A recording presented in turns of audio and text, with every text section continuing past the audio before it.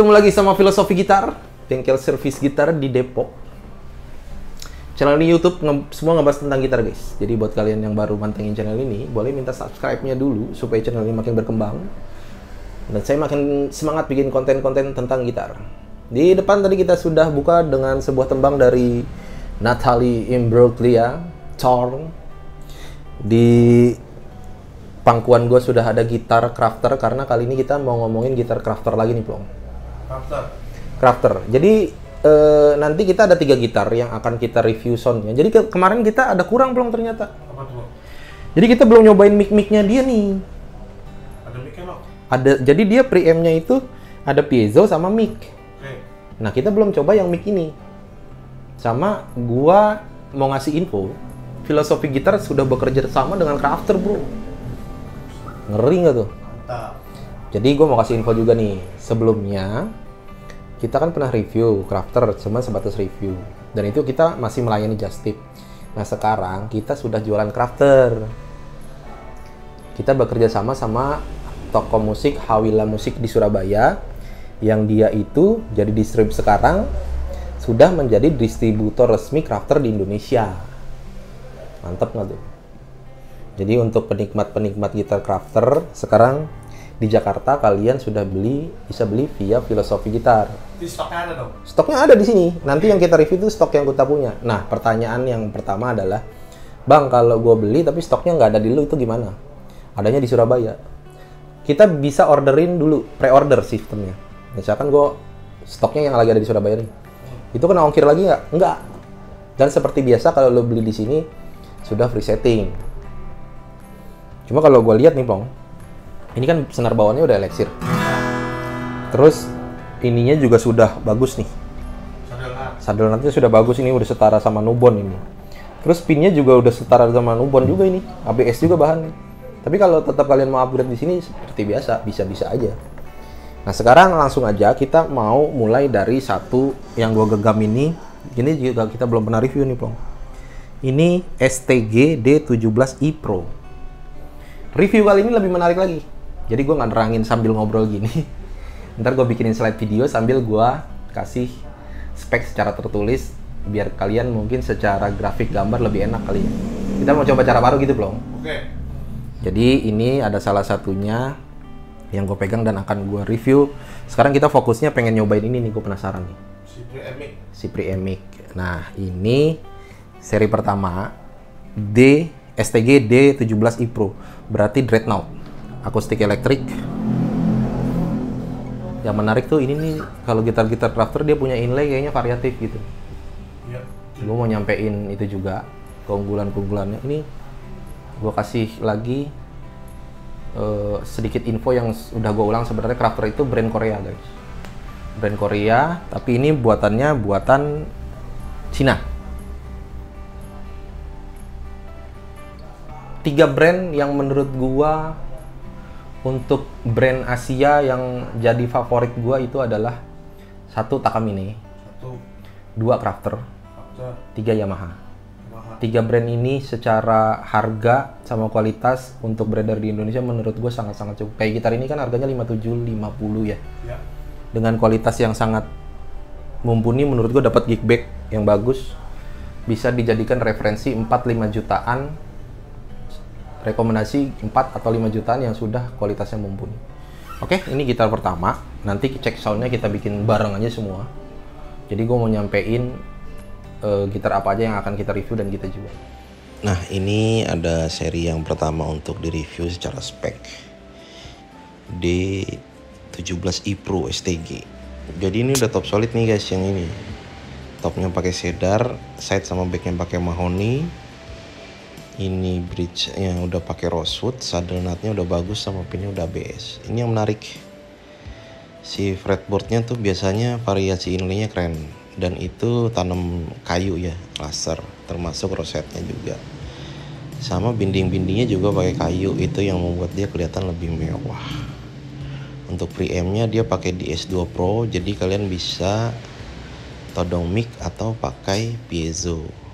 Ini tampilan headstocknya yang dibikin full glossy di depan tapi matte di belakang. Dryernya pakai Grover. Nah yang ini tampilan belakangnya untuk body dia full glossy dan bindingnya itu udah wood semua ya. Keren kan? Nah kalau yang ini seri main G16 BRC Pro. Size-nya Grand Auditorium, top solidnya cedar, side sama backnya mahoni guys. Untuk saddle sama nut itu sudah ABS, pin bridge juga udah ABS sudah bagus. Oh, bridge-nya pakai rosewood. Untuk rosetnya pakai herringbone. Ini sama nih yang menarik. Pakai slotted headstock style, jadi kayak gitar plastik gitu ya. Untuk fretboardnya dia pakai rosewood dengan dot inlay. Kalau ini inlaynya biasa, tapi sudah full binding. Dengan menggunakan tuning mesin open gear. Keren ya kelihatan mewah gitu jadinya. Kalau yang ini dia finishingnya satin guys. Jadi doff ini tampilan belakangnya. Lihat tuh serat-serat kayunya. Keren kan kalau ini yang 3 per 4 nih guys. Sama top solid juga. Dia ada bevel cutnya. Ini top solidnya pakai mahoni side sama backnya pakai mahoni. Untuk bridge nya pakai rosewood saddle ABS udah bagus. Nat ABS juga udah bagus. Ini setara grabtek nih menurut gue nih. Ini tampak dari belakang colokannya. Untuk rosetnya dia modelnya herringbone terus lanjut ke neck. Necknya masih rosewood yang menarik tuh. Ada gambar kupu-kupu guys. Kalau yang ini necknya nggak ada binding nih. Sama ini nih yang menarik. Biasa headstocknya nih model slot headstock yang kayak gitar klasik. Terus ada logo crafter sama Dyer tuning mesinnya pakai model open gear dari crafter sendiri. Ini gue cobain smooth dan enak banget finishingnya satin untuk preampnya pakai DS2 Pro masih sama jadi bisa pakai piezo bisa pakai mic Nah setiap tadi itu dapat tas yang kayak gini guys. Ini harganya mungkin tasnya aja 500 ribuan kali ya. Tebel dan keren. Mantap lah pokoknya.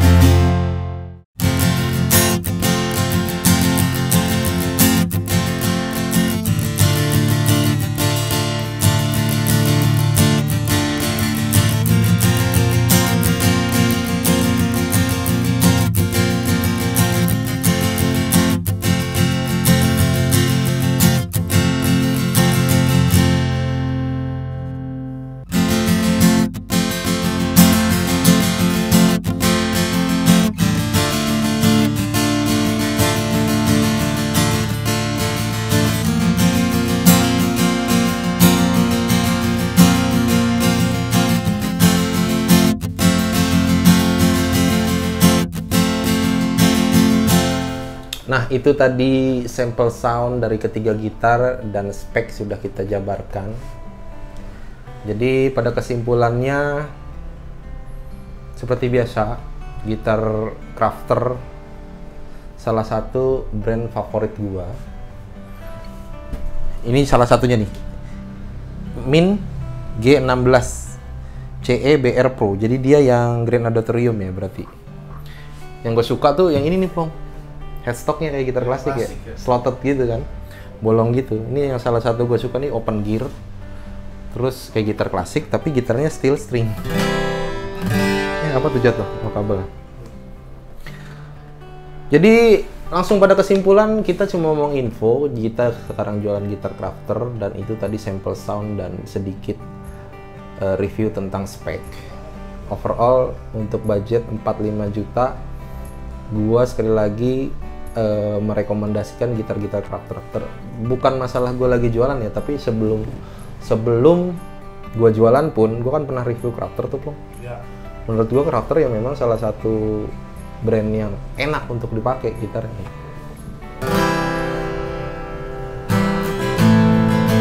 What's going on? Nothing's going.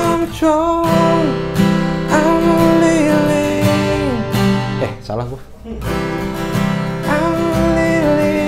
Eh, gimana lupa lagi gua chordnya.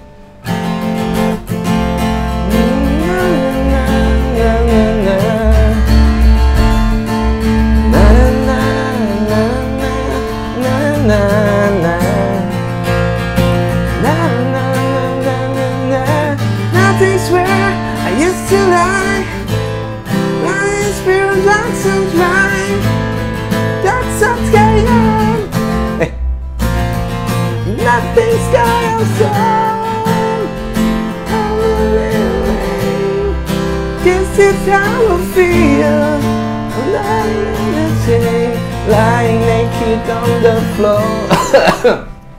ya, seperti itulah guys ya.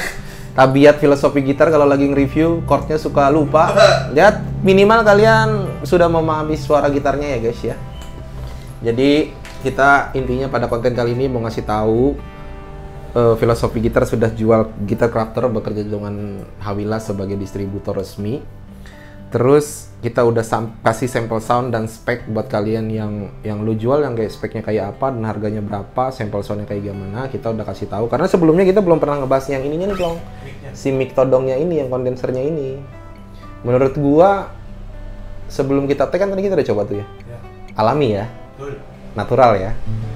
Tinggal nanti kalian mau pilih pakai piezo atau pakai mic atau di blend. Bisa pakai piezo, pakai mic. Itu nanti tergantung selera sound kalian. Gua rasa konten kali ini cukup. Jadi nanti gue cantumin link deskripsi. Balik lagi kalau lo mau beli, ya bisa ke Hawila langsung atau lu mau order di sini yang sekitaran Jakarta biar nggak kena ongkir kita orderin dulu kalau barang yang nggak ada di sini dan sekali lagi free setting by Filosofi Gitar.